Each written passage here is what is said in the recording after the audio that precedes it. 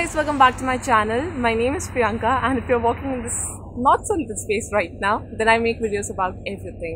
कुछ दिन पहले मैंने आपसे पूछा था कि मैं एक सीरीज़ स्टार्ट कर रही हूँ दिल की बात करके जिसमें मैं अपनी पर्सनल फीलिंग्स एंड स्टोरीज बताऊँगी और मैंने आपसे पूछा था कि आपको वो चीज़ इंग्लिश में देखनी है या हिंदी में देखनी है मुझे पता है काफ़ी लोगों ने वो चीज़ इंग्लिश में बोली थी और मैं समझ भी पा रही हूँ बिकॉज़ मेरी ऑडियंस बहुत अलग अलग जगह से आती है और इंग्लिश एक बहुत लॉजिकल चॉइस हो जाता है पर मैंने सोचा कि मैं दो वीडियोस बनाती हूँ, उन सब्सक्राइबर्स के लिए जिन्हें हिंदी में चाहिए और उन सब्सक्राइबर्स जिनके लिए ये चीज़ इंग्लिश में भी है। सो वीडियो पूरी की पूरी सेम है कंटेंट पूरा का पूरा सेम है तो आपको जिस लैंग्वेज में देखना है, आप देख सकते हैं। कहीं आपको टाइटल से पता चल गया होगा कि मैं आज किस टॉपिक पर बात करना चाहती हूँ। ये एक्चुअली वो टॉपिक है जिससे मैं अपनी यूट्यूब की चैनल स्टार्ट करना चाहती थी और वो नहीं हो पाया बिकॉज़ कहीं ना कहीं मेरे में इतना कॉन्फिडेंस नहीं था। कि मैं इन इश्यूज़ पे बात कर पाऊँ। और अगर उन पर बात कर रही हूँ तो इतने ढंग से बात करूँ कि किसी को इस दौरान ऑफेंसिव फील ना हो। इस टॉपिक पे बात करने के लिए एक हल्की सी, छोटी सी कहानी है, जिससे मैं स्टार्ट करना चाहूँगी।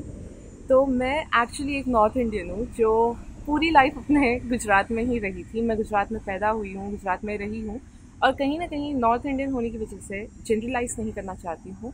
मेरा चेहरा काफ़ी लंबा है, काफ़ी हल्का सा फूला हुआ सा है, लंबा सा है और ओवरऑल मेरी हाइट भी बहुत ज़्यादा है। तो जब तो जब मैं अपने स्कूल में पढ़ती थी तो मेरे क्लास में दस लड़के हुआ करते थे एंड दस लड़कियाँ हुआ करती थी और काफ़ी हद तक एक ऐसा वक्त था कि मैं लड़कों से भी ज़्यादा लंबी थी। काफ़ी बार एक स्टेज आया था जब जैसे चौदह साल के हुए, पंद्रह साल के हुए, जब हॉर्मोन्स के होना स्टार्ट हुए, तब समझ आने लगा कि हम जो बातें करते हैं, हमें जो आइडियाज़ आते हैं, हमें जितने मार्क्स आते हैं उससे भी इंपॉर्टेंट एक चीज़ होती है, जिसे हम बोलते हैं फ़िज़िकल अपीरेंसेस और ये चीज़ उस टाइम पे समझ आ जाना बहुत ही अजीब सी बात थी बिकॉज़ कभी हमने सोचा नहीं था कि हमारे बाल इतना डिफरेंस क्रिएट करते हैं, हमारे कपड़े इतना ज़्यादा डिफरेंस क्रिएट करते हैं, किसी ने अगर मेकअप पहना है कि नहीं पहना है, उससे इतना डिफरेंस क्रिएट होता है.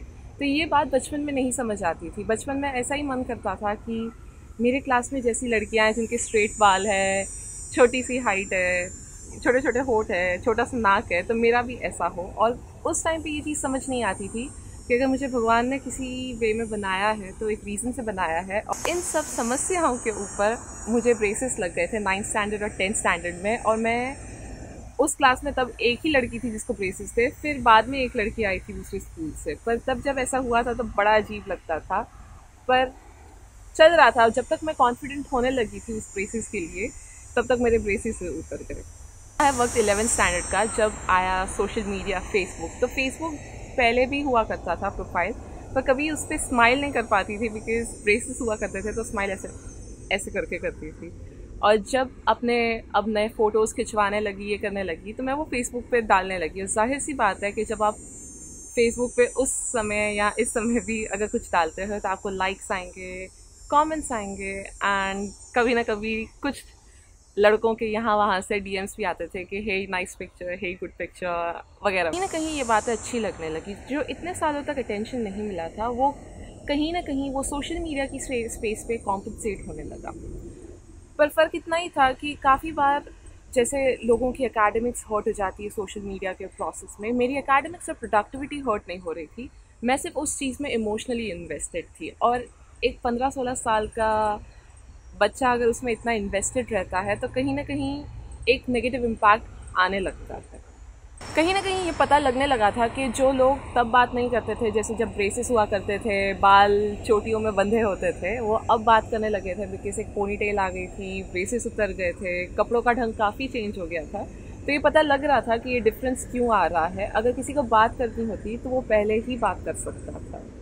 अब इन सब में आया वक्त इंजीनियरिंग का। अब इंजीनियरिंग में अगर आप इंडिया से हो, और अब मुझे नहीं पता वहाँ की सिचुएशन कैसी है या दूसरे कॉलेजेस का नहीं पता तो मेरे कॉलेज में सेवेंटी लोगों की क्लास में there were only eight girls ये आठ लड़कियाँ होने की वजह से काफ़ी अटेंशन मिलता था, और अटेंशन सिर्फ़ उनसे ही नहीं सीनियर्स से मिलता था, दूसरी क्लासेस वगैरह से मिलता था बिकॉज़ लड़कियाँ ओवरऑल बहुत कम थी।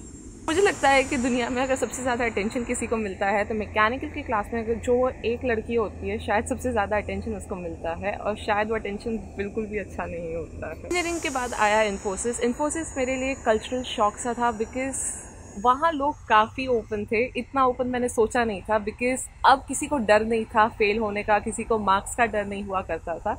अगर क्योंकि तुम्हें सैलरी मिल रही है तो जैसे ही तुम्हारी नौकरी लगती है तो कहीं ना कहीं लोगों का रवैया बदल जाता है। कुछ का अच्छा हो जाता है और कुछ का थोड़ा अलग सा हो जाता है। तो ये जो अलग से लोग हुआ करते थे, ये काफ़ी बार आपको रास्ते में रोकते थे और क्वेश्चंस पूछा करते थे, जिसके लिए मैं इतनी ओपन नहीं थी। और मेरी टॉलरेंस वैल्यू वाकई में बहुत कम है। तो मुझे कोई भी चीज़ मैं बकवास से सुनती हूँ तो मैं इमीडिएटली जवाब दे के वहाँ से निकल जाती हूँ। मैं डिप्लोमेसी के साथ नहीं जाती हूँ। मैं काफ़ी बार जो मन में आता है, पहले वो बोल ही देती हूँ और मुझे फ़र्क नहीं पड़ता बिकॉज़ मुझे पता है मैं उस समय सही कहीं ना कहीं अभी भी उस कल्चर से कहीं सहमत नहीं हूँ कि आप रास्ते में लोगों को रोकते हो, उनसे बात करने की कोशिश करते हो। मुझे ये चीज़ बिल्कुल पसंद नहीं आती है और तब भी पसंद नहीं आती थी। पर इस दौरान एक चीज़ हुई थी इंजीनियरिंग और इन्फोसिस के वक्त पे। और अभी भी कहीं भी यूट्यूब पे भी अगर आप देखेंगे तो काफ़ी ऐसे कमेंट्स आपको मिल जाएँगे। तो इंजीनियरिंग में जब मार्क्स आया करते थे, यहाँ अब मैं अपनी चौथी कंपनी में हूँ, पहले इन्फोसिस में थी, वगैरह वगैरह मैंने अपनी कंपनी चेंज करी। तो लोगों ने ये लिखना स्टार्ट किया या बोलना स्टार्ट किया कि अच्छा ये तो अच्छी दिखती है, शायद इसको ये सब मिल रहा है। पर कोई ये देखने नहीं आया कि अगर इंजीनियरिंग में मार्क्स आ रहे थे तो रात भर पढ़ाई होती थी, इसलिए आते थे। पहले दिन से नोट्स लिया करते थे, इसलिए आते थे। सारे लेक्चर्स अटेंड किया करते थे, इसलिए आते थे। अब जब नौकरियाँ चेंज होने लगी तो कोई ये देखने नहीं आया था कि कोई भी इंटरव्यू फेस टू फेस नहीं था। पहले दो राउंड्स हमेशा टेलीफोनिक होते हैं स्पेशली इन कनाडा आपके काफ़ी राउंड्स यहाँ फ़ोन पे या जूम पे हुआ करते हैं। और उसके फाइनली जब आपकी कहीं ना कहीं ऑन बोर्डिंग सेट होती है, तब आपको एचआर बुलाता है। आपका बॉस कभी नहीं बुलाता, आपको एचआर बुलाता है और आपको एक प्रोजेक्ट या सेक्शन में अलॉट करता है।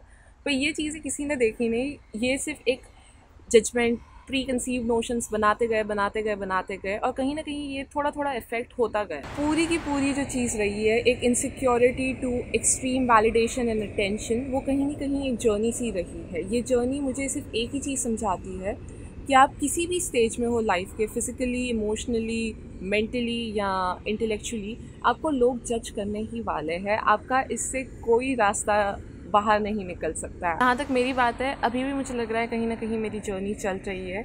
और हर जर्नी का पहला स्टेप होता है एक्सेप्टेंस और मुझे लग रहा है कहीं ना कहीं अभी भी मेरा चल रहा है। I am still not there yet और ये एक बहुत लंबा प्रोसेस रहने वाला है। बट इसमें मैं एक ही चीज़ कर सकती हूँ कि मैं अपना पेशेंस रखूँ और अपने आप पे पूरा विश्वास रखूँ कि मैं जो भी कर रही हूँ, मैं सही कर रही हूँ।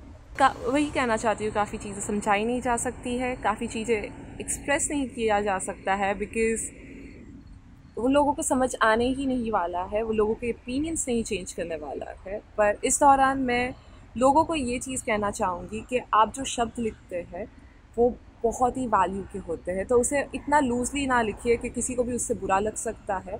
जब आप मेरे चैनल पे कुछ लिखते हैं तो आप ऐसा बोलते हैं कि मैं हज़ार लोगों के सामने बोल रही हूँ, इसलिए मुझे अपने वर्ड्स के बारे में केयरफुल होना चाहिए।